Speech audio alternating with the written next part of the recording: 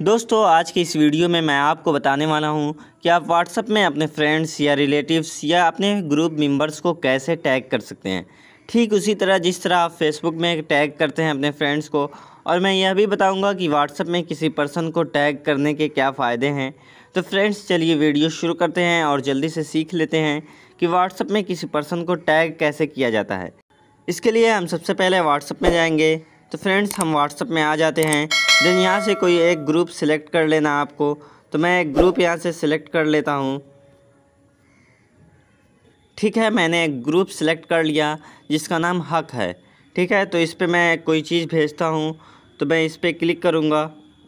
Then यहाँ से gallery वाले ऑप्शन में जाएँगे। देन ऑल मीडिया पे क्लिक कर देंगे। उसके बाद जो भी आपको इमेज अच्छा लगता है, उसको आप सेंड कर सकते हैं। जैसे मैं यहाँ पे एक इमेज सेलेक्ट कर ले रहा हूँ। जैसे कि आप इमेज देख सकते हैं। अब मुझे इसे सेंड करना है वहाँ पे।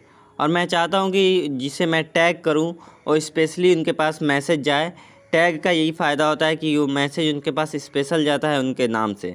तो हम यहाँ कैप्शन में लिख देंगे, कुछ इस पोस्ट के बारे में लिख देना है, उसके बाद से आपको टैग करना है। जैसा कि हम लिख दे रहे हैं this post is very important this post is very important ठीक है? मैंने लिख दिया। उसके बाद से जिसको भी आपको टैग करना है, उसको आप टैग कर सकते हैं। उससे पहले आपको ऐट द रेट पर क्लिक करना होगा। देन यहाँ पे ऑटोमेटिक टैग के ऑप्शंस आ जाएँगे। जो भी आपका फ्रेंड है इस ग्रुप में, उसे आप टैग कर सकते हैं आसानी से। तो मैं यहाँ पे दो तीन पर्सनस को टैग कर लेता हूँ। जैसे कि ये एक फ्रेंड है मेरा, इसको मैं टैग कर ले रहा हूँ। फिर उसके बाद से एक और को टैग कर लिया। फिर एक और टैग करके दिखा देता हूँ। जैसे कि मैं इन्हें टैग कर लेता हूँ। इस तरह से मैंने तीन पर्सनस को टैग कर लिया, तीन फ्रेंड्स को टैग कर लिया। अब उसके बाद आपको सेंड वाले ऑप्शन पे क्लिक कर देना है।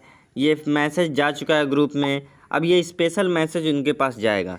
टैग का यही फ़ायदा है फ्रेंड्स तो वीडियो अच्छी लगी हो तो वीडियो को लाइक और शेयर ज़रूर करिए। चैनल पर नए हैं तो चैनल को सब्सक्राइब ज़रूर करिएगा। इस तरह की और भी वीडियोज़ देखने के लिए। थैंक्स